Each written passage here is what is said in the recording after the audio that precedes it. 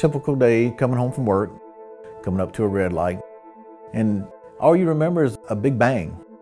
It's a very scary feeling, and you're not sure where to go, but I knew where I wanted to go. You've got a group with all the knowledge and years. I just kind of put out of my mind and concentrate on trying to get better. Now that it's over, uh, knowing that I got the best outcome that there could have been, knowing I was taken care of, it's kind of being part of a family. Get the firm behind you.